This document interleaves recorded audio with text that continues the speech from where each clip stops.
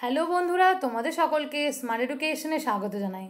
আমরা আলোচনা করছিলাম জিওমরফোলজি অন্তর্ভুক্ত খুবই গুরুত্বপূর্ণ বিষয়, নদী, বায়ু, হিমবাহ, সমুদ্র তরঙ্গ ও কাস্ট অঞ্চলের ক্ষয় ও সঞ্চয় কার্যের ফলে সৃষ্ট ভূমিরূপসমূহ নিয়ে। যারা এখনও ভিডিওগুলো দেখোনি, তারা এই ভিডিও ডেসক্রিপশন বক্সে লিঙ্কগুলি যে দেওয়া রয়েছে, সেখান থেকে দেখে নিও। এছাড়া জিওটেকটনিক এবং জিওমরফোলজি থেকে সমস্ত বিষয়গুলো আলোচিত হয়েছে। তা স্মার্ট এডুকেশন চ্যানেলের প্লেলিস্টে পরপর সাজিয়ে দেওয়া রয়েছে, তোমরা সেখান থেকে দেখে নিও। আজকে আমরা আলোচনা করব cycle and non cycle concept থেকে, যেখানে ক্ষয়চক্রের সংজ্ঞা, ধারণা, নিয়মতন্ত্র এবং ক্ষয়চক্রের শ্রেণীভাগ নিয়ে, যার মধ্যে থেকে স্বাভাবিক ক্ষয়চক্র নিয়ে আলোচনা করব। ভিডিওটি শেষ পর্যন্ত দেখার জন্য অনুরোধ রইল, তাহলে শুরু করছি আজকের আলোচনা। প্রথমত ক্ষয়চক্রের ধারণা কী রয়েছে তা জেনে নেব। ক্ষয়চক্র বলতে কী বোঝো প্রথম প্রশ্ন রয়েছে, ভূ অভ্যন্তরীণ শক্তির প্রভাবে সমুদ্র পৃষ্ঠের ওপরে কোনো ভূমিরূপের উত্থান।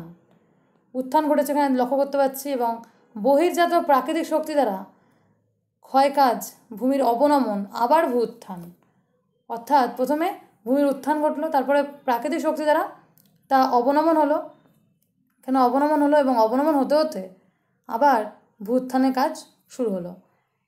এবং এভাবে ক্ষয়সাধনের কাজ চক্রাকারে আবর্তিত হয়ে ভূভাগের প্রাথমিক অবস্থা থেকে মধ্যবর্তী অবস্থানের মধ্যে দিয়ে, অর্থাৎ এটা হলো প্রাথমিক অবস্থান প্রাথমিক অবস্থান থেকে মধ্যবর্তী অবস্থানের মধ্য দিয়ে একেবারে বার্ধক্য পর্যায়ে বা শেষ অবস্থায় যেটা হলো ক্ষয়ের শেষ সীমায় পৌঁছেছে, সেটা হলো ক্ষয়চক্র নামে পরিচিত। এরপরে জানব যে প্রথম কে চক্রীয় ধারণা বা সাইকেল কনসেপ্ট প্রবর্তন করেন।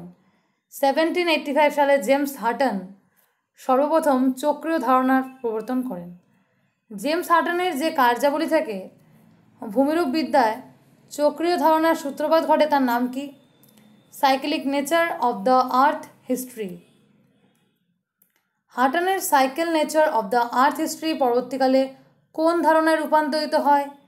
ইউনিফর্মিটারিয়াজম, অর্থাৎ সমতাবাদ। তাহলে সমতাবাদ বিষয়টি কি? সমতাবাদ ধারণাতে সমস্ত প্রাকৃতিক শক্তি যেগুলি বর্তমানে পৃথিবীতে কর্মরত অবস্থা রয়েছে, সুদীর্ঘ বা সুদৃঢ় অতীত থেকে একই গতিতে না থাকলেও এগুলি কাজ করে চলছে এবং এর থেকে নিরবচ্ছিন্নভাবে ভূমিরূপের পরিবর্তন ঘটছে। একটি ধারণার ইঙ্গিত পাওয়া যায়, এটি হলো সমতাবাদ। এরপরে জানব যে ক্ষয়চক্রের বৈজ্ঞানিক ধারণাটি সর্বপ্রথম কোন ভূবিজ্ঞানী দিয়েছেন? এইটিন নাইনটিতে এইটিন নাইনটি নাইনে মার্কিন অধ্যাপক ও ভূতত্ত্ববিদ উইলিয়াম মরিস ডেভিস, যা ideal geographical cycle of erosion নামে পরিচিত। কার দ্বারা অনুপ্রাণিত হয়ে ডেভিস ক্ষয়চক্রে ভূমিরূপের জীবনচক্রের কথা বলেছেন, চার্লস ডারউইনের অরিজিন অফ স্পেসিস গ্রন্থে জীবের বিবর্তনের ধারণা দ্বারা অনুপ্রাণিত হয়ে ডেভিস ক্ষয়চক্রে ভূমিরূপের জীবনচক্রের কথা বলেছেন। এরপরে বিষয় রয়েছে ক্ষয়চক্রের নিয়মতন্ত্র নিয়ে। তাহলে ক্ষয়চক্রের নিয়মতন্ত্র বিষয়টি কি জেনে নিই ক্ষয়চক্রের নিয়মতন্ত্র বা প্রণালী বলতে কী বোঝো? কোনো ভূমিরূপের উত্থান, ক্ষয় এবং সঞ্চয় ভূমিরূপের পরিবর্তন এবং অবশেষে পূর্বের অবস্থায় ফিরে আসা। এটি হলো নিয়মতন্ত্র বা সিস্টেম। ক্ষয়চক্রের নিয়মতন্ত্র কয় প্রকার ও কী কী? দু প্রকার। একটি হলো আবদ্ধ নিয়মতন্ত্র এবং দ্বিতীয়ত হলো উন্মুক্ত নিয়মতন্ত্র। প্রথমে জেনে নিই, আবদ্ধ, নিয়মতন্ত্র বলতে কী বোঝো এবং এর মধ্যে কোন প্রণালী বা ক্ষয়চক্রের শ্রেণীভাগের মধ্যে কোন বিষয় অন্তর্ভুক্ত রয়েছে তা জেনে নেব। প্রথমে জেনে নিই যে আবদ্ধ, নিয়মতন্ত্র বলতে কী বোঝো। যে প্রণালীতে কোনো বাইরের অতিরিক্ত শক্তির প্রয়োজন হয় না, কেবল প্রাথমিক শক্তি দ্বারাই বিভিন্ন বিষয়ের পর্যায়ক্রমিক পরিবর্তন ও পারস্পরিক সম্পর্ক গড়ে ওঠে তাকে আবদ্ধ প্রণালী বলে। শুধুমাত্র এখানে প্রাথমিক শক্তি প্রধান ভূমিকা নিয়েছে, সেটি হলো আবদ্ধ নিয়মতন্ত্র। এই আবদ্ধ নিয়মতন্ত্রের মধ্যেই ডেভিসের স্বাভাবিক ক্ষয়চক্র বিষয়টি অন্তর্ভুক্ত রয়েছে।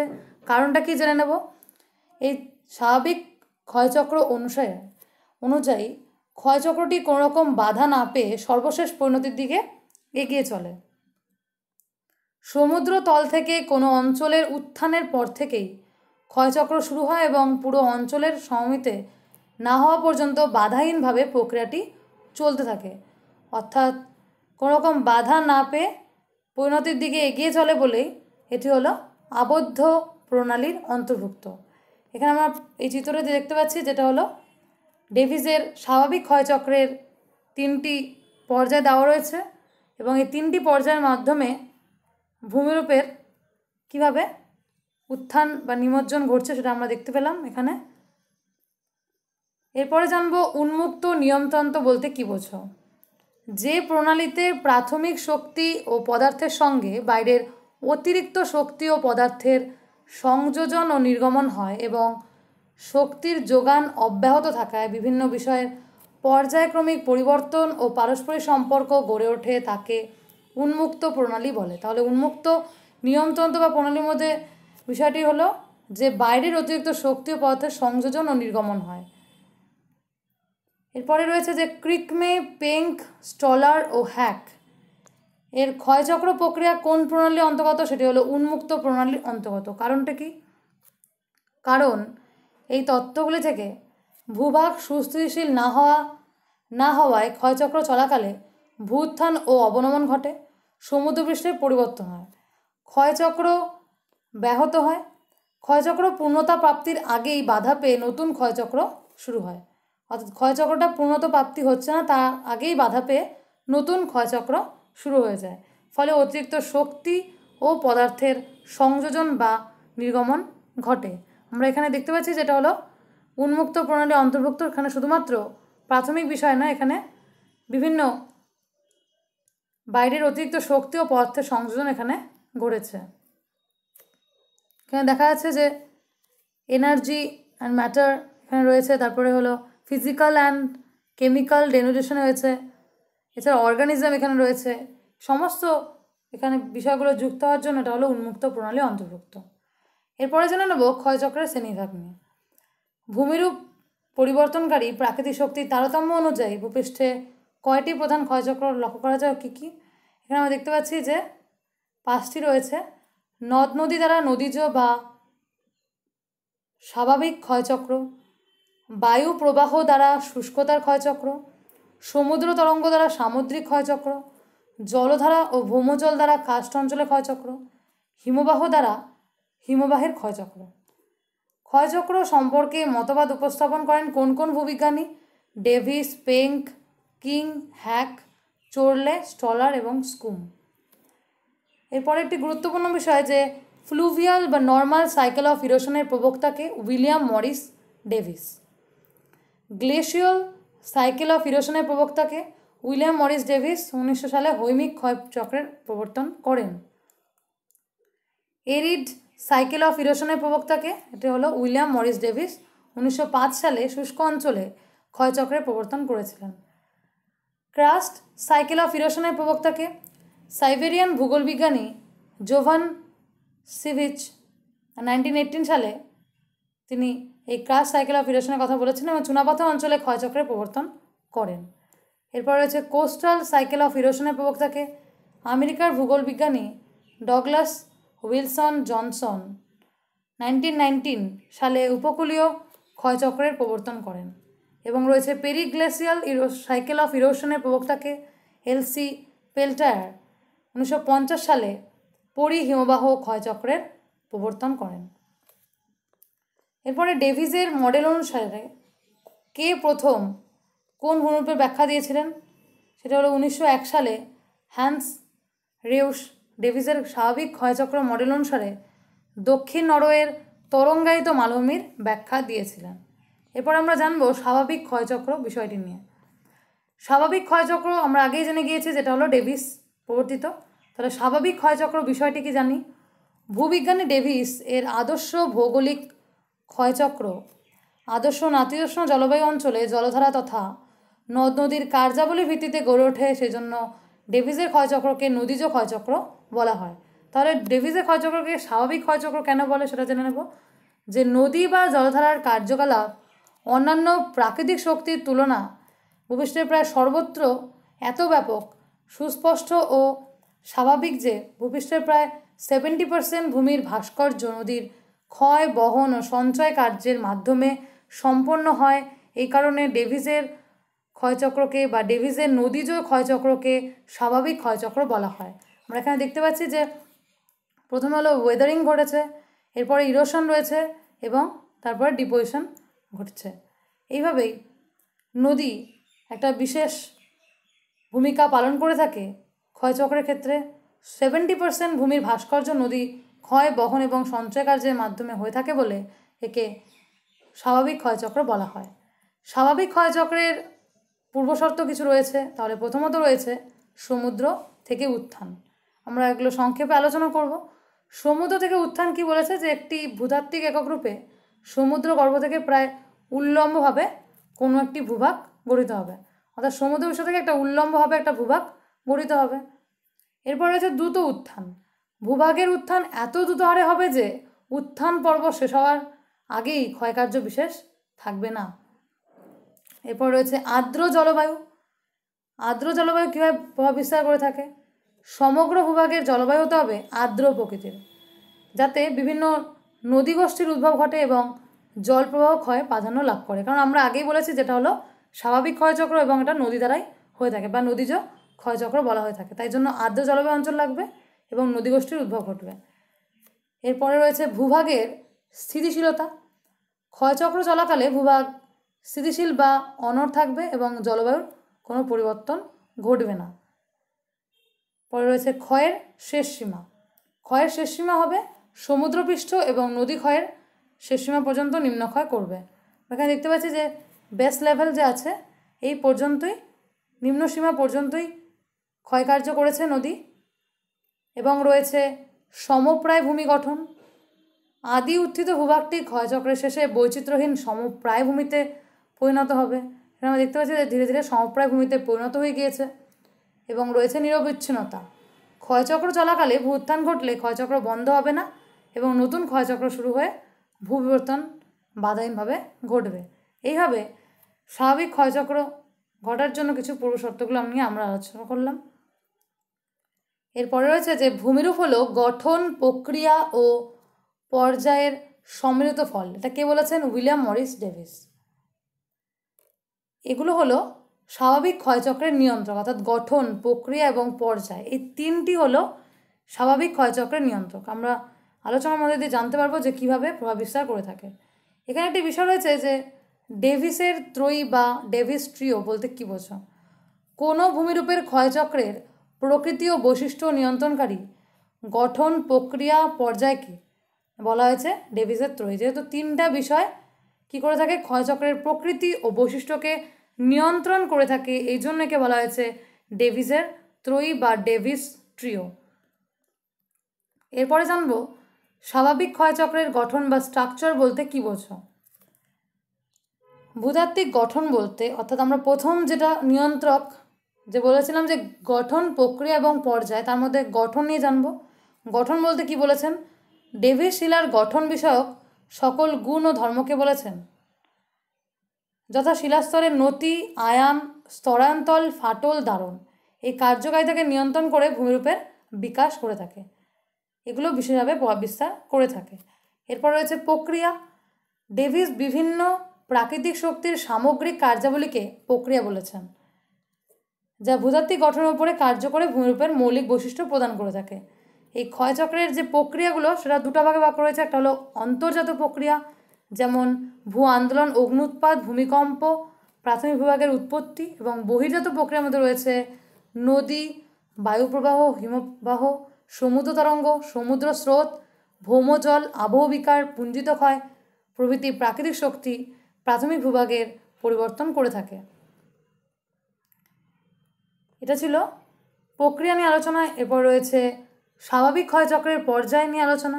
ভূভাগে প্রাকৃতিক শক্তিগুলির কার্যকারিতার ব্যাপ্তিকাল বা সময়কালকে ডেভিসের ক্ষয়চক্রের পর্যায় বলা হয়। এই পর্যায়কাল তিনটি ভাগে বিভক্ত। অর্থাৎ জীবের জীবনচক্রের মতো ভূমির বিকাশের জীবন ইতিহাসকে ডেভিস যৌবন পরিণত বার্ধক্য এই তিনটি পর্যায়ে বিভক্ত করেছেন।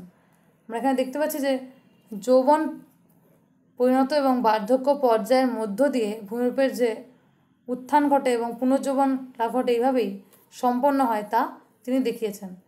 এটি হলো পর্যায়।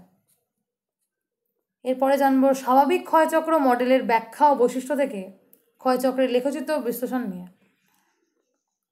ক্ষয়চক্রের স্বাভাবিক, অর্থাৎ ডেভিস, স্বাভাবিক ক্ষয়চক্র মডেল ব্যাখ্যা করার জন্য কয়টি পর্বের কথা বলেছেন? সেটি হলো দুটি পর্বের কথা। তাহলে আমরা দেখে নিই যে কী বলতে চাইছে। এখানে দুটি পর্ব কী কী রয়েছে তা দেখে নেব। একটি রয়েছে, আমরা দেখে নিলাম যে একটি হলো উত্থান পর্ব এবং একটি হলো ক্ষয় পর্ব। অর্থাৎ এটি হলো উত্থান পর্ব এবং এখানে হলো ক্ষয় পর্ব। এবং কীভাবে আলোচনা করেছে তা আমরা এই চিত্রের মাধ্যমে বুঝে নিই। প্রথমত রয়েছে উত্থান পর্ব। এই উত্থান পর্ব দিয়েই স্বাভাবিক ক্ষয়চক্র শুরু হয় এই পর্বে সমুদ্র গর্ভ থেকে। তো এটা হলো সমুদ্র তলে সমুদ্র গর্ভ থেকে নতুন ভূভাগ সমুদ্র পৃষ্ঠের ওপরে দ্রুত এখানে জেগে ওঠে। দ্রুত উত্থান ঘটলো এখানে। এখানে দেখা যাচ্ছে দ্রুত উত্থান ঘটেছে। স্বল্পস্থায়ী এই পর্বে প্রাথমিক বন্ধুরতা কম থাকে। অর্থাৎ এখানে আমরা প্রাথমিক যে বন্ধুরতা সেটা এখানে দেখতে পাচ্ছি যে ক এবং খ যেটা রয়েছে, এখানে হলো প্রাথমিক বন্ধুরতা গড়েছে। এটা কম থাকে এবং পরিণত পর্যায়ে সবচেয়ে বেশি থাকে সেটা আমরা জানব যে ক এবং খ সেখানে প্রাথমিক বন্ধুরতার পরিমাণ এবং সেখানে পৃষ্ঠের ওপরে দ্রুত জেগে ওঠে এবং খুব দ্রুত উত্থান হয় এই যৌবন পর্যায়ে বা উত্থান পর্বের সময়। এবং ক যে রয়েছে, এখানে আমরা দেখতে পাচ্ছি যে ক উত্থান পর্বের শেষে জলবিভাজিকার সর্বোচ্চ উচ্চতা এবং খ এই স্থানটিতে নদী খাতের সর্বোচ্চ উচ্চতাকে নির্দেশ করে। অর্থাৎ উত্থান পর্বের ক এখানে যে রয়েছে সেটা হলো জলবিভাজিকার সর্বোচ্চ উচ্চতাকে নির্দেশ করে এবং খ যে রয়েছে এটা হলো নদী খাতের সর্বোচ্চ উচ্চতাকে নির্দেশ করে। এরপরে জেনে নেব ক্ষয় পর্ব। অর্থাৎ উত্থান পর্ব নিয়ে আমরা আলোচনা করলাম। আরেকবার যদি সংক্ষেপে বলি উত্থান পর্বটিকে নিয়ে।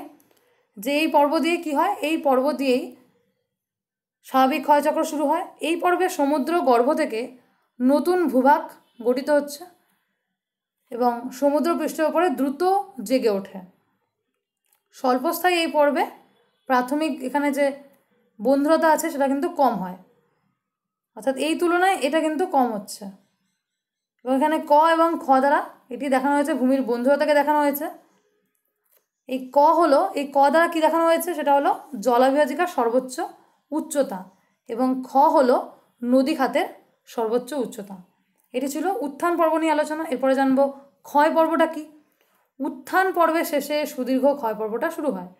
এই পর্বে বিভিন্ন বহির্জাত প্রক্রিয়া, নদী, বায়ু, হিমবাহ ইত্যাদি দ্বারা যৌবন পরিণত বার্ধক্য এই তিন প্রকার পর্যায়ের মধ্যে দিয়ে ধীরে ধীরে বাধাহীনভাবে ক্ষয় করতে থাকে। এখানে চিত্র আমরা দেখতে পাচ্ছি যে ক, গ এবং এখানে উমা, এই যে রয়েছে, এই তিনটি যে রেখা সর্বোচ্চ উচ্চতাকে নির্দেশ করছে। এখানে দেখা যাচ্ছে যে সর্বোচ্চ উচ্চতাকে নির্দেশ করে এবং খ, এখানে খ রয়েছে, ঘ রয়েছে এবং চ যে রয়েছে, এটি নদী খাতের সর্বোচ্চ উচ্চতাকে নির্দেশ করে। রেখা দুটির মধ্যবর্তী দূরত্বকে ভূমির বন্ধুরতা বলা হয়।